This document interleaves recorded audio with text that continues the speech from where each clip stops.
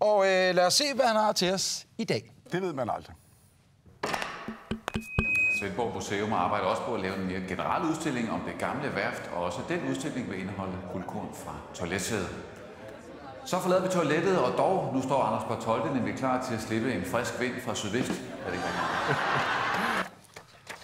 Det er jo et overlæg, som simpelthen passer perfekt ind i Kåres Comedy Corner Claus, ikke? Jamen, han har jo allerede givet vejrudsigten der. Hvis man skal påpege noget, der måske kan diskuteres. Nå. En, fri, en, en frisk vind fra sydvest, så er det jo sagt. Ja, det er faktisk ikke engang løgn. Og så står Bartoldi der og tænker, hvad fanden Hvad skal, jeg, jeg så, hvad sige? skal jeg sige næste 7,5 minut, ikke? Øh, Claus, øh, du sidder, sidder tæt ved siden af Kåre til daglig. Nogle gange. Han er det, med, han er klassens fest makrel, ikke? Jo, jo, og jeg går, øh, vi, vi, vi, vi klæder hinanden godt, synes vi selv. Og jeg tror, at dem, der sidder imellem os, synes, det er nogle meget, meget lange dage.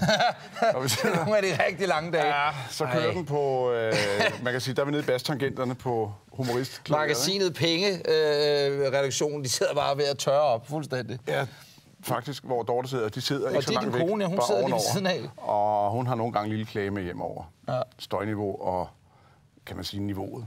Generelt. Ja. ja. Øh, skriver ind i deres materiale selv, eller er I sådan her af comedy writers side? Vi har ikke nogen comedy writers. Hvordan så, er vil, man- så, vil det jo ikke, så vil de være bedre. Men er sådan noget som det der, eller en af dem, jeg viser med dig om lidt, øh, er, er de skrevet selv? Eller er det noget, man finder på i momentet?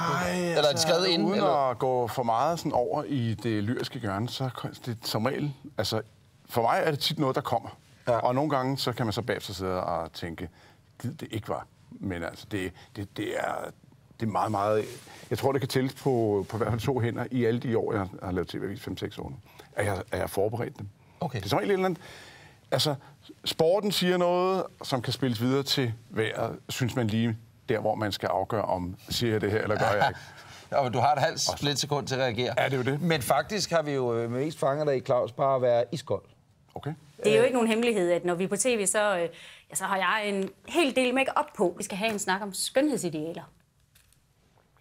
Men her nu, der er det din tur, Jan, med det der med bold og ballade. Ja, vi beholder make på lidt nu også. Ikke?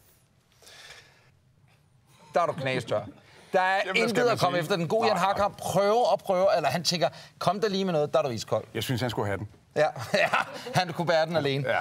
Øh, for en men- gangs skyld. Men Claus, det er også et farfuldt område, fordi at, øh, en ting er, at man kan lave en Kvist, og man kan få sit eget indslag i natholdet. Det kan også godt være, at man kan sige, og det er ikke for at anfægte det materiale, du lå og rode med i det klip, vi skal se nu. Men comediens vej er øh, nogle gange en, hvad kan man sige, en tynd is at betræde. Prøv at se Ja. I dag var der igen Michelin-stjernedrøs over Danmark. Så i Aarhus, der var der i den grad madglæde og stjerner i øjnene. Og Mette Hybel, du er på restaurant Frederikshøj i Aarhus. De serverer jo ikke stjerneskud, men de fik Michelin-stjerner. Ja.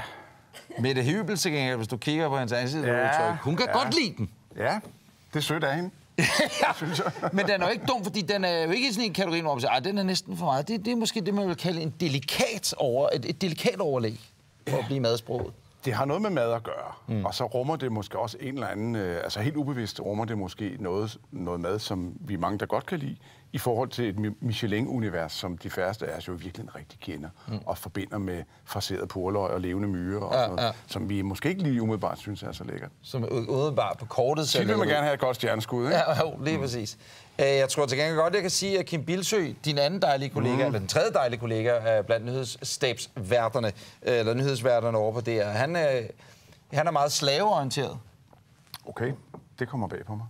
Denne slave, denne maskine, som ikke kan tænke selv, det gør den til en god, ydmyg slave for den rette operatør. Ja, og øh, fra en ydmyg slave til en anden ydmyg slave, Michael Jarnvild. Ja, der ved Kim noget, vi andre ikke ved. Bring out the gimp. Det er altså, det er julefrokosten, men det er muligt, at de to ting, øh, de to drenge har noget Jamen, det kan være, at de har snakket et eller andet med Shades of Grey, eller hvad ved jeg. Ja, det kan da godt være, at de har talt om Hvad er du til? Ja.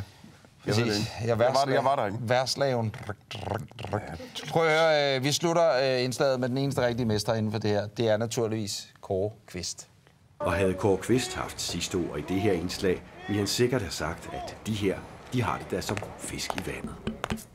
Ja, eller noget andet vanvittigt. I morgen aften, der kan du se sidste afsnit af De Unge Fiskere, og det er her på DR1. Men lige nu, der skal du se et afsnit af vejrudsigten, og det er dig, Michael, der står ved roret. Det er det, jeg Det var Kåres Comedy Corner. Ja.